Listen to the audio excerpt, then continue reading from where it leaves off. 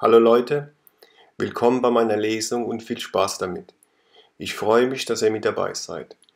Doch zuerst kommen noch ein paar allgemeine Hinweise. Ich habe ein Buch geschrieben und werde nun daraus einige Passagen vorlesen. Wenn ich mich verspreche, bleibt das drin. Ich werde nichts schneiden. Auch andere Fehler, die passieren werden, lasse ich aus Authentizitätsgründen einfach so stehen.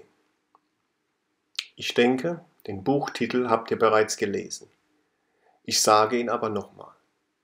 Der Titel lautet Total geiler Psycho. Ich bitte darum, dass ihr kurz in euch geht, ob ihr tatsächlich zuhören wollt. Wenn ihr psychische Probleme habt, ist professionelle Hilfe immer angezeigt.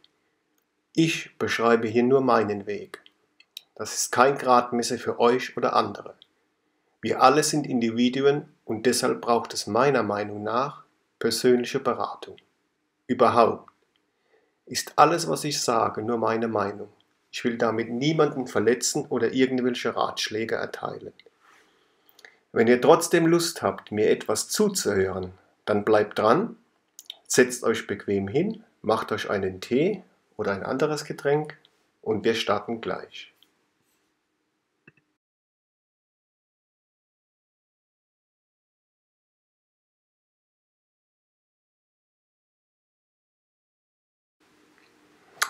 So Leute, ich habe jetzt mal in meinem Buch geblättert und ich habe ein Zitat gefunden, das steht ziemlich am Anfang und mit dem Zitat wollen wir mal starten.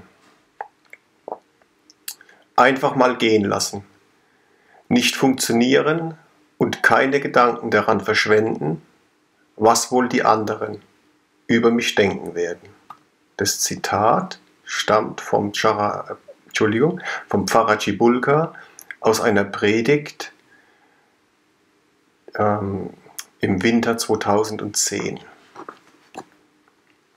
Wir werden auch immer mal, also zwischen den einzelnen äh, Passagen, äh, werde ich auch immer mal eine Pause einlegen.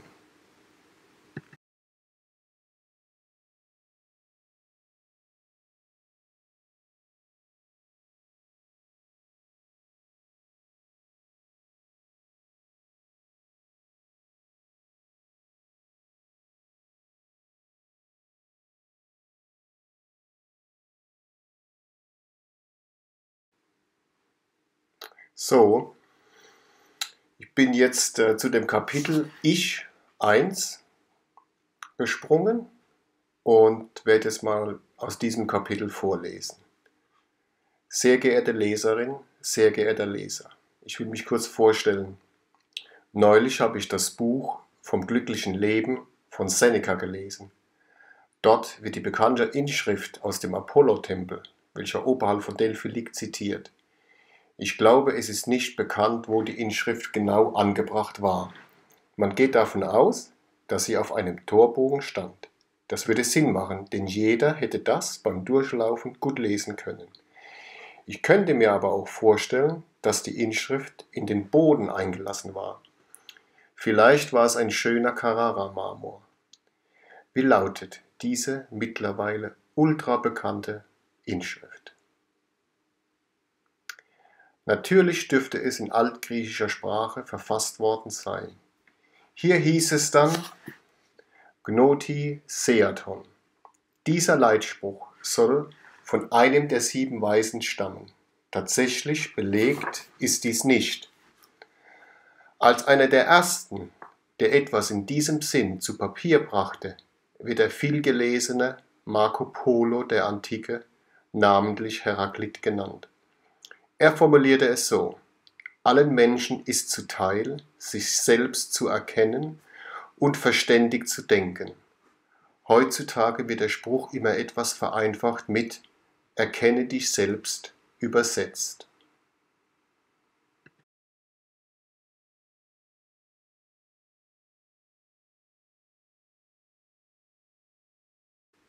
Hallo, da bin ich wieder.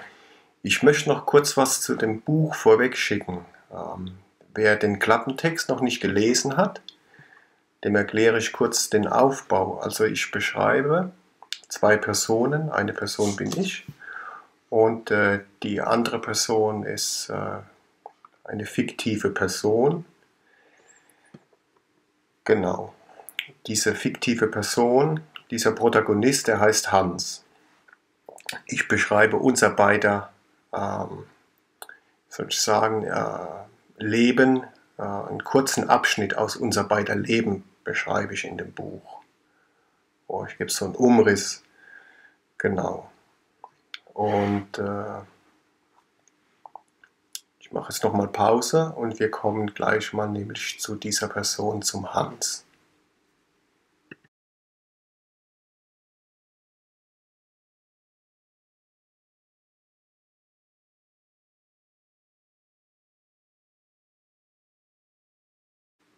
Wir sind jetzt im Kapitel Hans 2 und ich will gar nicht äh, erklären, was jetzt äh, passiert ist im Vorhinein, aber der Hans, der befindet sich an einem Bahnhof und äh, ich lese jetzt mal weiter. Wie ging es Hans nun im Hauptbahnhof? Im Bahnhofsgebäude, das aus der Jahrhundertwende stammte, wie vielleicht die meisten Bahnhöfe hierzulande, ging er zu einem Infostand. Gleich nach dem Eingang der Schiebetür befand er sich rechter Hand. Im Atrium des Gebäudes und für alle gut sichtbar hing an der Wand eine große Anzeigetafel. Es war noch eine dieser schönen aus Plastikblättchen.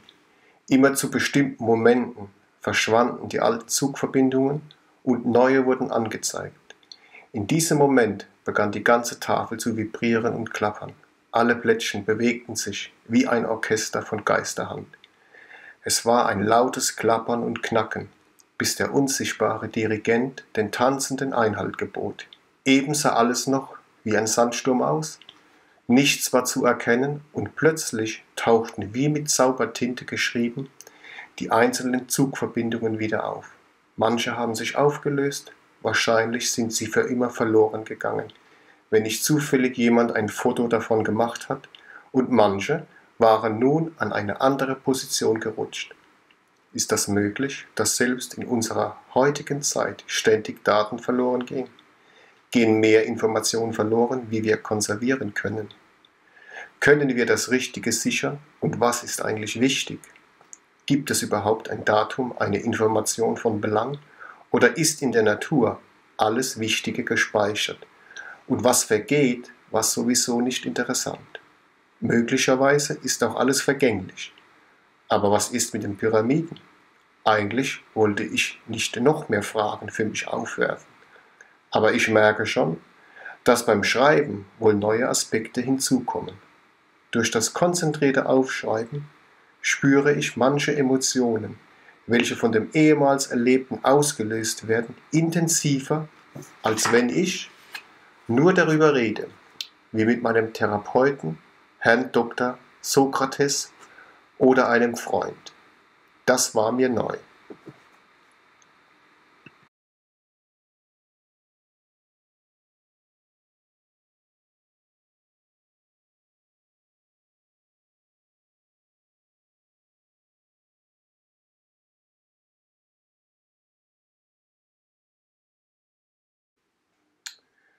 So, wir sind jetzt äh, im Kapitel Soziale Phobie und ich lege gleich los.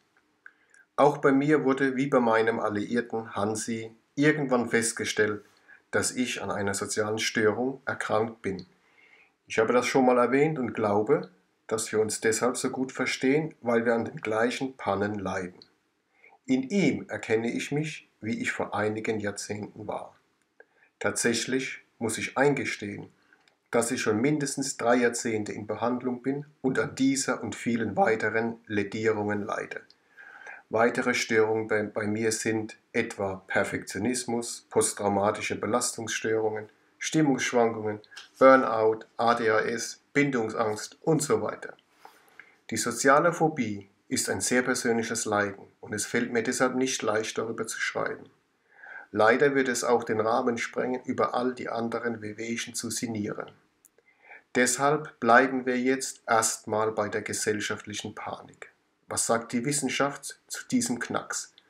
Unter sozialer Phobie wird in der Regel eine Störung des Verhaltens nach innen und außen im Umgang mit der Gesellschaft, im sozialen Miteinander und im Speziellen mit Personen definieren. Ich möchte hier nun meine individuelle Erkrankung aufzeigen. Jeder Mensch ist ein Einzeltier und ein Wunder, auch an Verrücktheit. Das Selbst und das Ich werden durch viele Ereignisse im Leben geprägt. Ich bin deshalb der Meinung, dass diese Störung bei den Betroffenen in vielen Ausprägungen auftritt und deshalb allgemein gültige Aussagen zwar getroffen werden können, diese aber nicht auf jeden zwingend zutreffen müssen.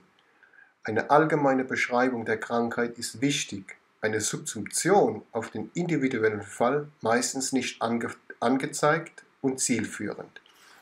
Eine Untersuchung und genauen Analyse der individuellen Störung eines Patienten Y ist der richtige, aber schwierigere und in der heutigen Zeit durch die Schulmedizin oft nicht gangbare Weg. Es fehlt zum Beispiel an Zeit, Fachkräften, Wissen und Einrichtungen. Wenn möglich, ist jeder am besten bedient, wenn er versucht, sich selbst zu verstehen und seine Erkrankung in allen Facetten, Ursachen und Wechselwirkungen zu erfassen. Blicken Sie Ihr inneres Kind direkt an, Seien Sie schonungslos. Ein guter Therapeut, wie mein lieber und sehr fähiger Dr. Sokrates, ist hierbei essentiell und kann Sie in Ihrer Entwicklung stark unterstützen. Leider sind Therapieplätze Mangelware und viele da draußen wahre Pfeifen vor dem Herrn. Eine Bekannte von mir wurde sogar von ihrem Analytiker angegraben. Wie immer ist aber auch eine große Portion Motivation und Tapferkeit notwendig, wenn sie weiter reifen und ihre Persönlichkeit entwickeln wollen.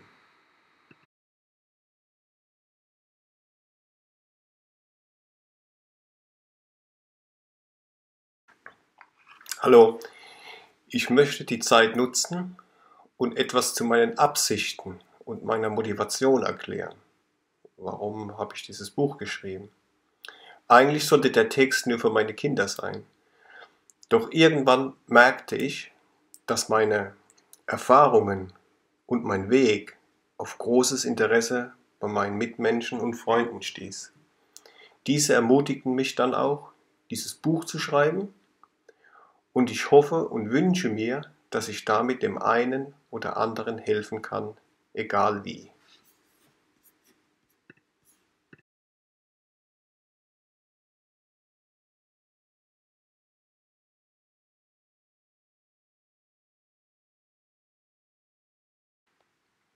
Hallo, wir sind jetzt ähm, im Kapitel äh, oder beim Kapitel Angst angekommen. Ist eines der schwierigsten Kapitel gewesen für mich. Und äh, wir lesen mal in diesem Kapitel. Bei mir zeigt sich Angst manchmal mehrmals am Tag. Es kommen Panikattacken. Das Thema ist für mich mindestens ebenso schwierig wie die soziale Phobie. Liebe Leserin und Leser, der Umgang mit meiner Angsterkrankung und den damit einhergehenden Störungen ist oft nicht lebenskonform für mich. Ein unglaublicher Kraftakt, der zusätzlich zum normalen Leben und meiner Entwicklung zu leisten war und ist. Ich stoße hier in meiner Familie meistens auf Unverständnis. Hier und im Bekanntenkreis kann man es nicht verstehen, dass ich Ängste habe. Ich würde sogar so weit gehen, dass ich meine Störungen und Panikattacken als generalisierte Angststörungen bezeichne. Das bedeutet für mich, dass ich nicht weiß, woher die Furcht ihre Ursache zieht und wann sie auftritt. Sie kommt einfach aus heiterem Himmel wie ein Blitzschlag, bei strahlendem Sonnenschein. Peng und du wirst getroffen, wie die arme tote Magd im letzten Kapitel.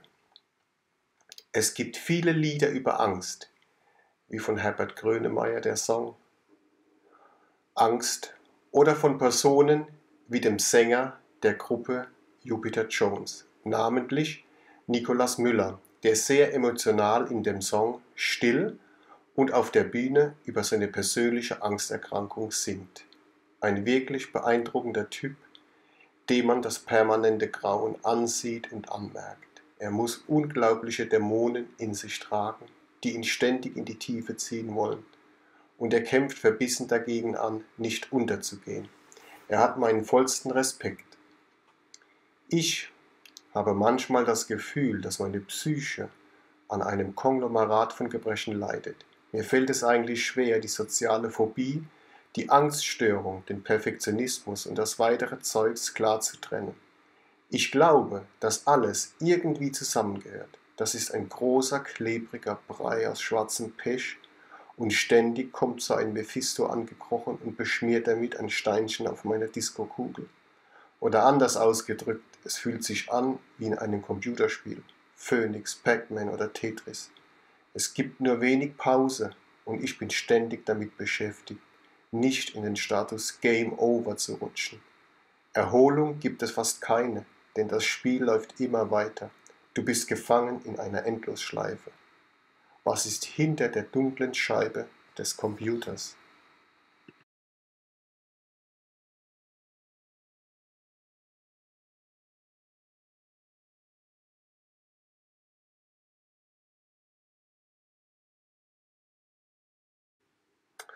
So, wir kommen jetzt äh, mal ein bisschen zu ein bisschen was Erfreulicherem. Nicht immer da diese, diese harten Themen. Ja, wir gehen jetzt noch mal zum Hans und sind jetzt beim Kapitel Hans 5. Hans ist sehr empfindlich, was Nahrung angeht. Normalerweise isst er wie viele Männer hauptsächlich tote Tiere. Ich habe schon ein paar Mal für ihn gekocht, aber das erspare ich mir lieber, denn unsere Geschmäcker sind nicht annähernd deckungsgleich. Er kann gute von schlechter Nahrung genauso wenig unterscheiden wie ein Schwein. Man könnte auch sagen, Perlen vor die Säue geworfen. Ich mag gutes Essen sehr. Bei ihm muss es in erster Linie billig sein und viel, also viel Fleisch. Seinen Salat oder sein Gemüse darf ja bekanntlich ich regelmäßig essen. Meistens vergisst er es aber und bietet es mir nicht an. Dann landet es im Abfall. Sein Gemüse besteht deshalb aus Schnitzel und so. Das Einzige, von dem er etwas nimmt, sind die Pommes. Dazu gibt es normale Zuckercoke, ab und zu etwas Alkohol, viel Kaffee und mindestens eineinhalb Schachteln Kippen. Dazu minimalste Leibesertüchtigung. Er ist faul, bequem und sieht das total anders. Zur Arbeit und nach Hause oder zum Supermarkt fährt er meistens motorisiert. Wenn er mit mir in der Stadt zwei Blöcke geht, dann ist ihm das schon zu lang. Lacht. Sein neues Pedelec steht eigentlich nur rum. Zu seiner Ehrenrettung muss ich sagen, dass Hans neulich beim Wandern vegane Spaghetti Bolognese von mir gegessen hat und er es total lecker fand. Außerdem versucht er mittlerweile Cola Zero zu trinken. Sein Arzt riet ihm dringend zu einer Ernährungs- und sogar Lebensumstellung. Da beißt er bei ihm aber auf Granit. Zu den wirklich dramatischen Gründen kommen wir später. Die anderen und Hans warten auf ihr Mahl. Alle haben hier immer großen Hunger. Das liegt vielleicht an der vielen frischen Luft und der Bewegung. Endlich kommt auch die Nahrung. Ihm ist schon ganz zittrig. Die Mahlzeiten werden hier serviert wie in einem Restaurant. Eine freundliche Servicekraft bringt Hans Buntbarsch mit Salzkartoffeln und Gemüse. Er hätte lieber Gyros mit viel Metaxasauce und ein paar Fritten gehabt. Am Buffet gibt es zu allem Überfluss auch noch Salat. Zum Essen trinkt er Wasser. Er wusste schon länger, dass sein Lebensrhythmus oberflächlich betrachtet nicht gut aussah, zu einseitig und bewegungslos. Über sein Wohlergehen machte er sich wenig Gedanken und verdrängte. Noch nicht mal den Dienstsport nutzte er obwohl der während der Arbeitszeit auszuüben ist.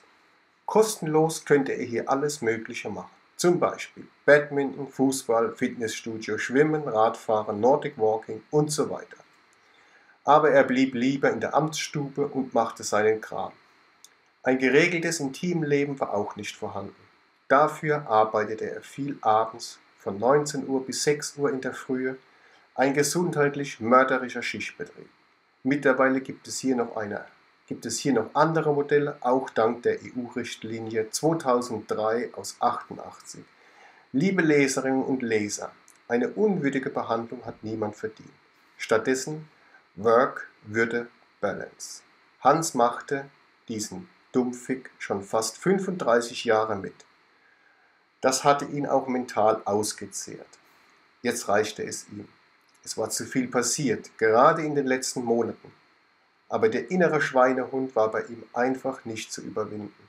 Er konnte und wollte keine Verantwortung für sein Leben übernehmen, wollte einfach so weitermachen.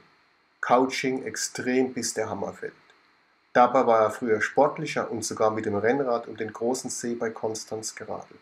Doch davon war nicht mehr viel übrig, außer den schönen Erinnerungen.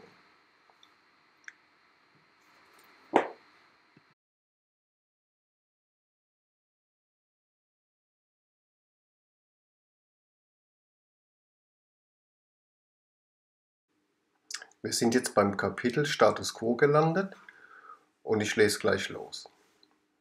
Wie schon erwähnt, hatte ich das Glück, dieses Jahr 50 zu werden. Für mich hat der Herbst des Lebens begonnen, wie landläufig diese Lebensphase so schön umschrieben wird. Mir gefällt diese Titulierung nicht. Es kommt mir vor, als wäre man eines dieser roten, brennenden Ahornblätter und ein kleiner Windstoß oder die Erdrotation könnten urplötzlich alles beenden. Ich hätte nichts dagegen, wenn ich noch mal zehn Jahre jünger wäre. Es ist doch ein eisernes Naturgesetz. Hast du endlich genug Mammon, dann bist du meistens zu alt. Ich bin satt. Das Fass ist voll. Nicht wirklich vermögend, aber als echter Minimalist braucht man eben weniger. Die Alten sitzen im Porsche Cabriolet, das gleiche mit der Freizeit. Als junger Mensch musst du rennen, um etwas zu erreichen. Du musst brennen für dein Ding. Freie Zeit Mangelware. Meinen Geburtstag feierte ich diesmal im kleinen Kreise in der Garage im Hof. Es war wie so oft für manche eine recht spontane Einladung. So waren viele meiner letzten Jahresfeiern. Irgendwie habe ich keine Lust, das ganze Spektakel im Voraus zu planen. Selbst beim 50. hatte ich null Bock. Vielleicht lag es auch daran, dass ich seit einem halben Jahr krankgeschrieben war und keinen Plan hatte, wie es weitergeht. Früher war das mal anders. Der wurde ordentlich mit meinem damaligen besten Kumpel Alex zusammen eine Party geschmissen. Alex ist wie ich Jungfrau. Mittlerweile hängt der in Amerika ab. Ich bin zwar auf der einen Seite.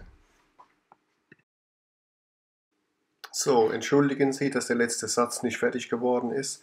Ich habe jetzt gerade Besuch bekommen und habe das jetzt gestoppt und das lesen wir gleich weiter. Ich fange nochmal mit dem letzten Satz an, der nicht ganz fertig war.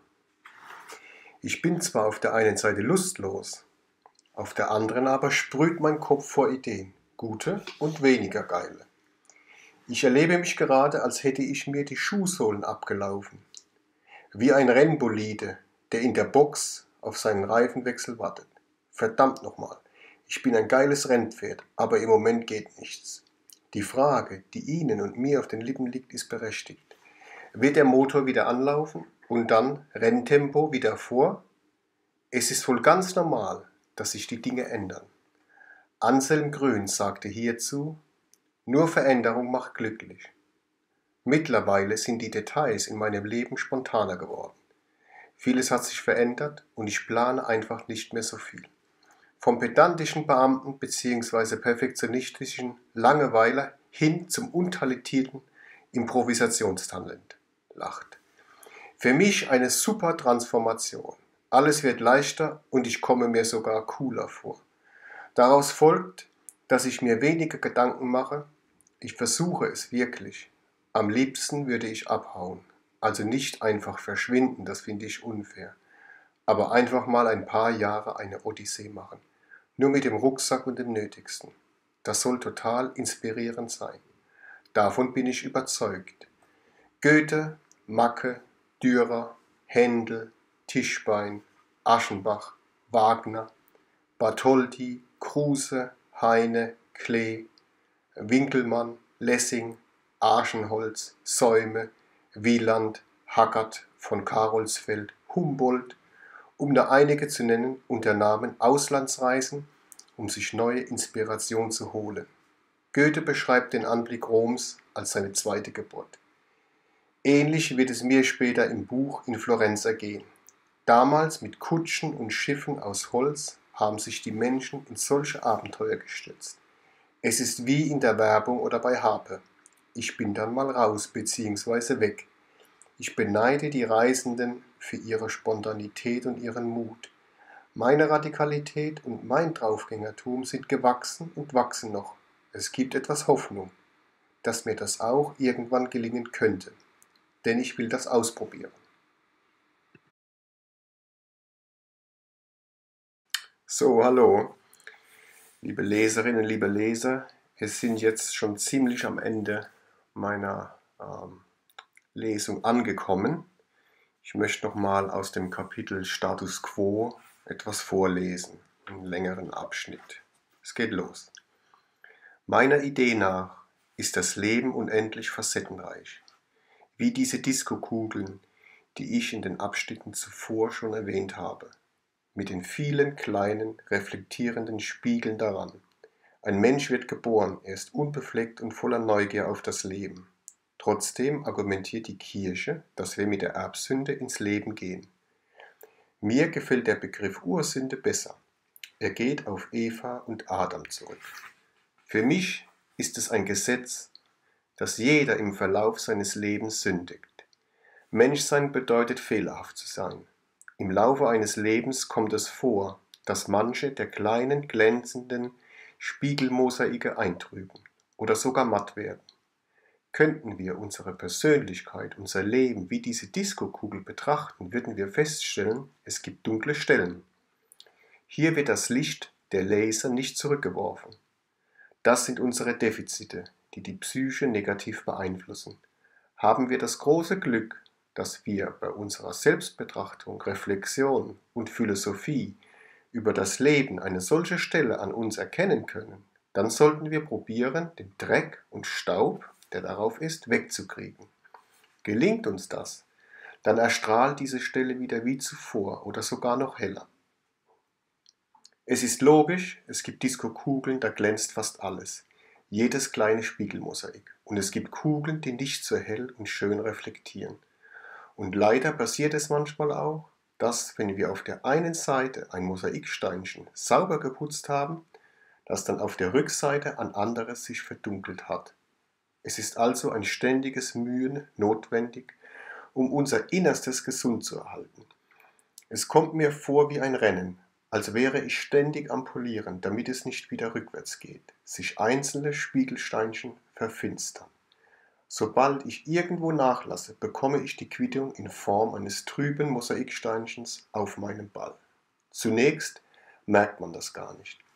Sie werden so allmählich stumpf und glanzlos, wie bei Beziehungen oder fettigen Haaren. Schon so viele Probleme meiner Psyche hatte ich gelöst, aber es kommen dann irgendwie immer neue dazu oder andere tauchen wieder auf.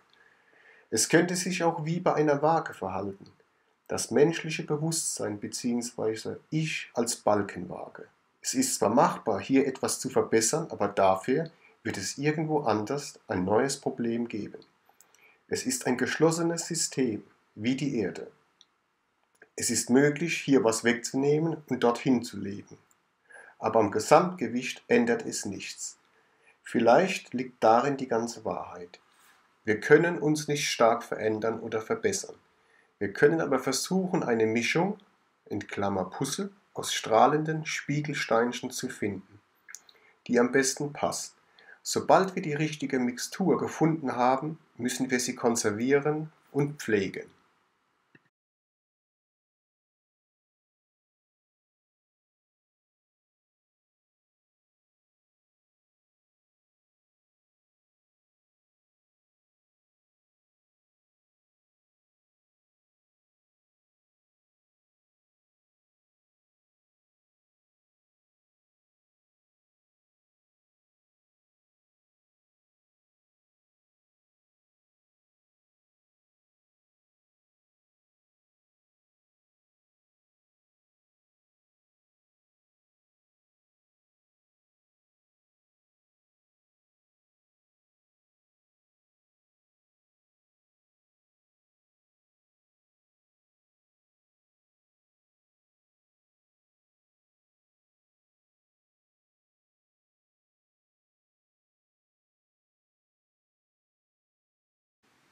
So, ich melde mich nochmal.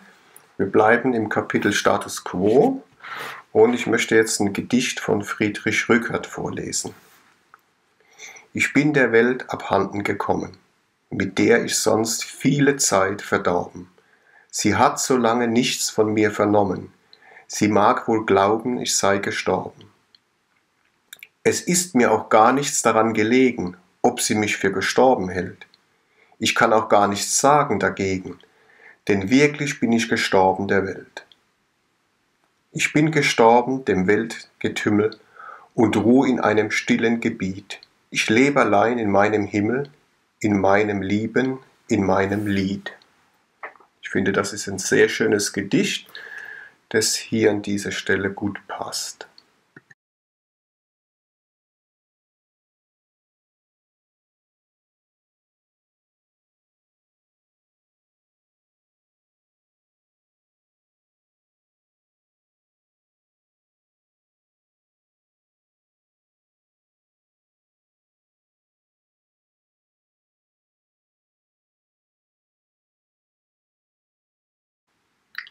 Im Buch habe ich ja beschrieben, dass wir den Lechweg gelaufen sind und das Foto zeigt uns am Ende dieses Weges nach äh, ca. 130 Kilometern. So, liebe Zuhörer, ich hoffe, ihr habt es bis hierhin geschafft. Ähm, ich springe jetzt ans Ende von meinem Buch. Da habe ich ein paar Lebensregeln aufgeschrieben. Es sind ungefähr 60 Stück geworden. Ich lese jetzt einfach mal ein paar vor. Ich fange mit der Nummer 4 an. Viel Bewegung am besten in der Natur. Die Nummer 5. Reden, miteinander reden, unbedingt über Probleme kommunizieren. Regel 6. Glaube an etwas Höheres, zum Beispiel an die Natur oder das Universum. Siebtens. Setze Regeln, Grenzen in deinem Leben, die nicht übertreten werden. Springen wir ganz nach hinten an die letzte Lebensregel. Lache viel, insbesondere über dich selbst.